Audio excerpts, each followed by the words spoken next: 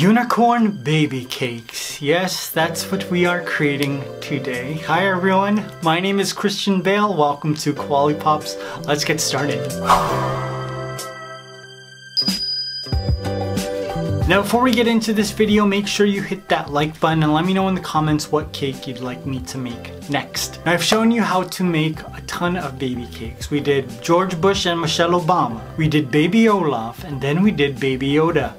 I love seeing all of your recreations of my baby cake, so I thought I'd give you two more ideas that you can recreate for loved ones, or maybe you could sell them too. Make some money off this video.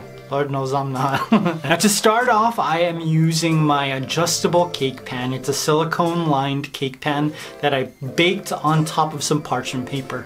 I love this because it makes it so that I don't have to cut that much cake away.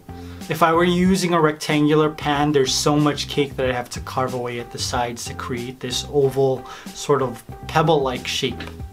Now while I am showing you how to make these cakes, I want you to think about what baby cakes you'd like to see me make next. Do you want Pokemon babies? Do you want Disney babies? Do you want Disney princess babies? I just thought of that. That would be a really cool idea. I can make whatever kind of babies you want.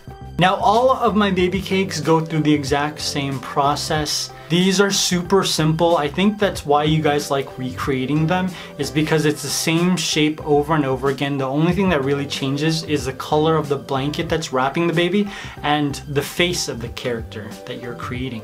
And each of these heads are created with 6 inch half dome cakes. So I flattened my 6 inch half dome cake out added some fondant underneath to create a snout and then covered the entire thing with white fondant. My inspiration for this was Pegasus from Hercules. I just think he's like the cutest horse ever animated. Now for my second unicorn cake, I decided to go something a little different. We're making a unicorn cat, a baby kitten cake. And I decided to go with pink. I just thought that that was very appropriate for a baby unicorn kitten.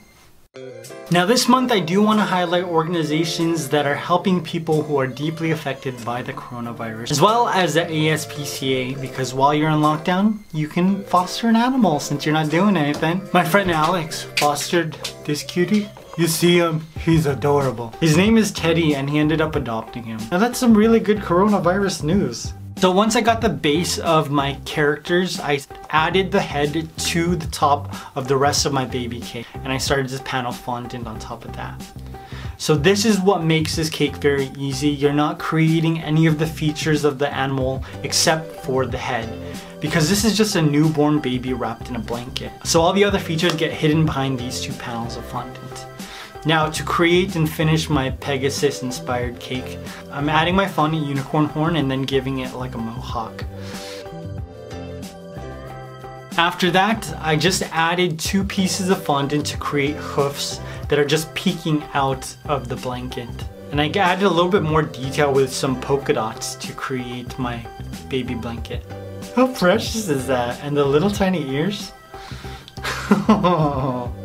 what is this boy's name? Alright. Now let's move on to the second unicorn. So I added my unicorn head on top. And so the first thing I did was make sure that I created the cat ears. And then I gave it its very cute kitty cat unicorn horn.